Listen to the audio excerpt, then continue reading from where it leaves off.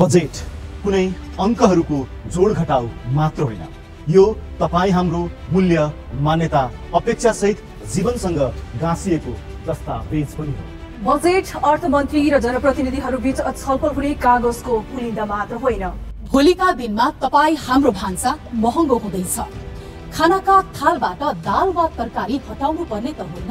आगामी वर्ष के तपाईँ नयाँ घर बनाउने वा भएको पुरानै घर मर्मत गर्ने सोचमा हुनुहुन्छ?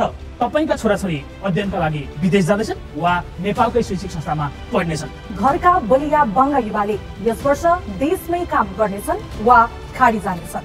के तपाईँ देशमै उद्योग व्यवसाय गर्नुहुन्छ वा खुसी खोज्न नेपाल बाहिर जानुहुन्छ? यो तपाईँ हाम्रो बजेट हो। जसमा हरेक नेपालीहरूको अपेक्षा सहज जीवन सरल जीविकोपार्जन शान्ति र खुसीको ग्यारेन्टी पनि हुनेछ। हामी आउँदैछौँ लाइभ र चर्चा गर्नेछौँ अर्थतन्त्रका च्याम्पियनहरूसँग। बजेटबाट के चाहन्छन् नेपाली? चल्नेछ विचार र विज्ञताको बहस। एपी वानको प्रयास बजेटलाई सरल र सबैले बुझ्ने गरी प्रस्तुत गर्ने किनकि समृद्ध नेपाल निर्माणका लागि आवश्यक छ तपाईँको सक्रिय सहभागिता।